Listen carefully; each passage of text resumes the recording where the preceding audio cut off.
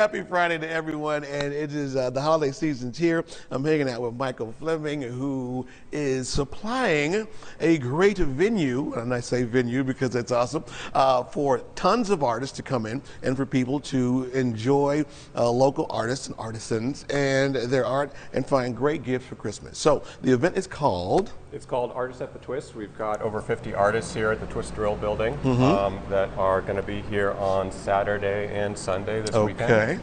Uh, many of the artists are actually from uh, this building here. Many Which of we love. Which we love, the Yeah. Twist Drill building for sure.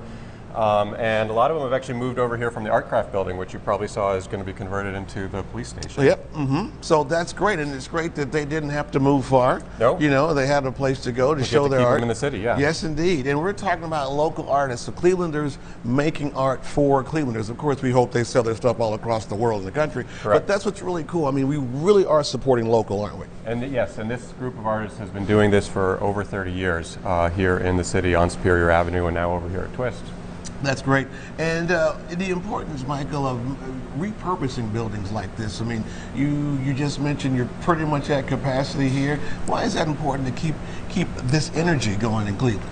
Uh, well, this neighborhood has been an industrial area since probably the 1800s. This building, in fact, was uh, founded right here on the corner in 1870 something. Wow.